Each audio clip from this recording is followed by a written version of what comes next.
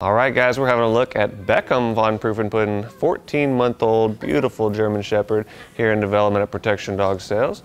What we're going to see here today is a little bit of what we call real-life proofing.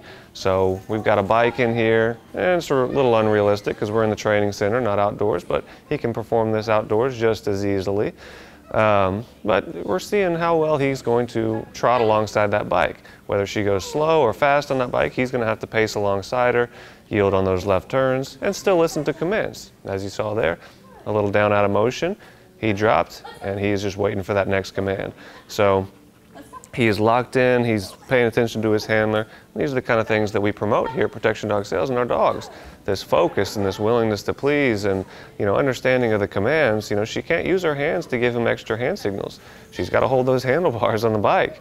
So his ability to just go off verbal commands and, and still have focus, you know, even though it's, it's a different picture than he's normally used to seeing. Normally, she's not on a bike, you know, and he's having to, he's having to learn something new here today. And you can see the focus is tremendous. He's really, really trying hard to figure out what it is that his handler wants.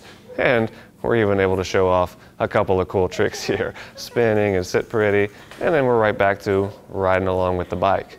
So really, really cool stuff to see here from Beckham von Prufenpuden. Again, only 14 months old, so he's a pretty young dog, and, and he's able to figure out this, uh, this little routine that we've got put together very, very quickly and easily.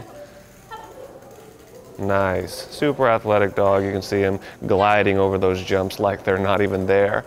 Um, so you know, let's look at uh, what we do here at Protection Dog Sales behind the scenes. We're riding bikes with dogs. We're, we're getting them ready for a real life scenario. So hope you, uh, hope you enjoy that video of Beckham at 14 months of age.